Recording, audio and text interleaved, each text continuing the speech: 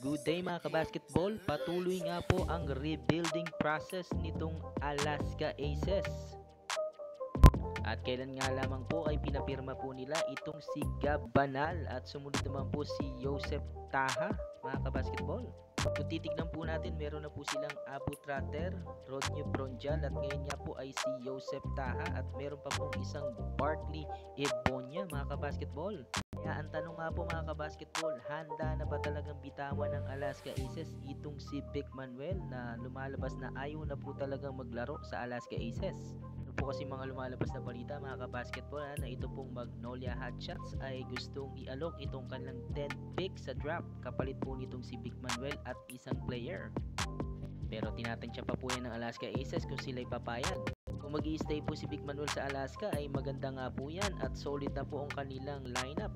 Dagdag pa po dyan yung 7th overall pick na kanilang makukuha sa draft mga kabasketball ha. At posible pa po silang makakuha dyan ng isang big man at isang legit na point guard mga kabasketball. Matatandaan nga po natin na wala pong kumasa dito po sa trade kay Big Manuel at nailaalok na po nila ito sa iba't ibang mga team.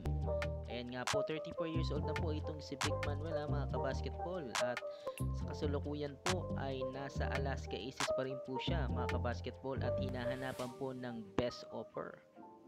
Si Jeron Teng din po mga kabasketball ay pumirma po ng new 3 contract mga kabasketball dito po sa Alaska Aces. Matapos nga pong pakawalan itong sila Abel Aliguez, MJ Ayaay at Yuten Andrada. And this coming draft nga po mga kabasketball ha, possible isang quality draft or player pong makukuha nila dahil po sa lalim ng draft nito pong ah, darating na PBA mga kabasketball. Pero naniniguro pa rin po itong si Coach Jeff Carriazo na kung sakasakal eh isang quality ah, players ang maipapalit dito po kay Big Manuel mga kabasketball.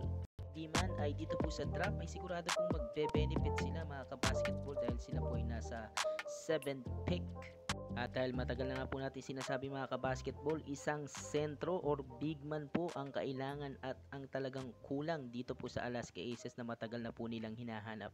Yan po siguro ang dahilan kung bakit po nila pinapirma itong si Joseph Taha at si Abu Trater at meron pa pong Rodney Bronjal at this coming draft nga po ay pwede pa po silang makakuha ng dalawang pick mga kabasketball. At sa inyo pong palagi mga kabasketball, pwede na nga bang bitawan ng Alaska Aces itong si Vic Manuel mga kabasketball? Ano man po ang inyong reaksyon at komento ay welcome na welcome po yan mga kabasketball at salamat po sa laging pagsubaybay dito po sa Super Chris TV. Stay safe lamang po tayo palagi mga kabasketball.